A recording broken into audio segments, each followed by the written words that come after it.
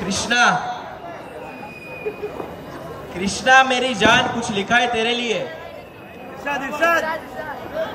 हाँ इतना भी कुछ खास नहीं। बस तेरे लिए हर वो मेरे जज्बात। लफ्जों में बयां करने की कोशिश की है।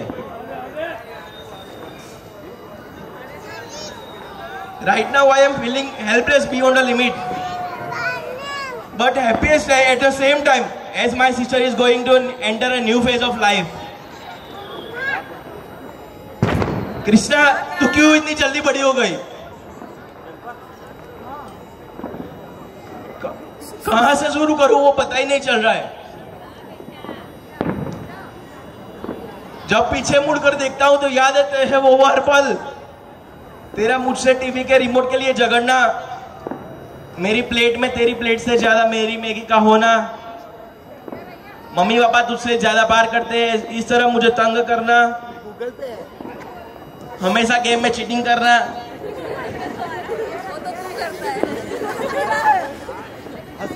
हर बात पे झगड़ना और हर बार यूँ ही एक दूसरे के करीब आना। अब तो ये सारे पल बस याद ही बन गए हैं।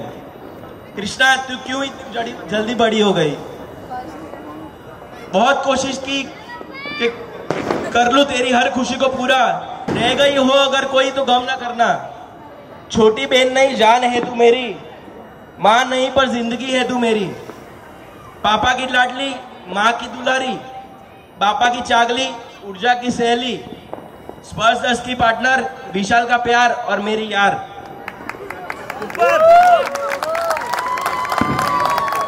रहेंगे जन्मों जन्म साथ।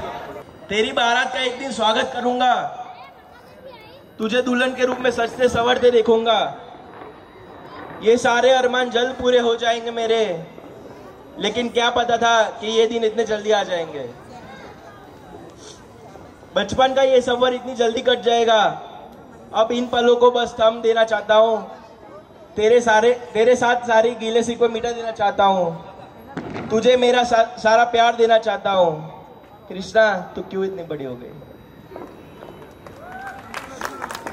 कभी कभी लोन में अपनी पॉकेट मनी से बचाए हुए पैसे देती है।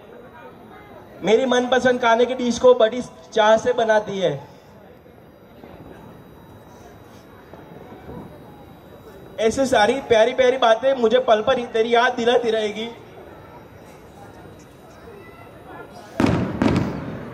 वो कहते हैं ना, फूलों का, तारों का, सबका कहना है, एक हज़ारों में मेरी बहना है।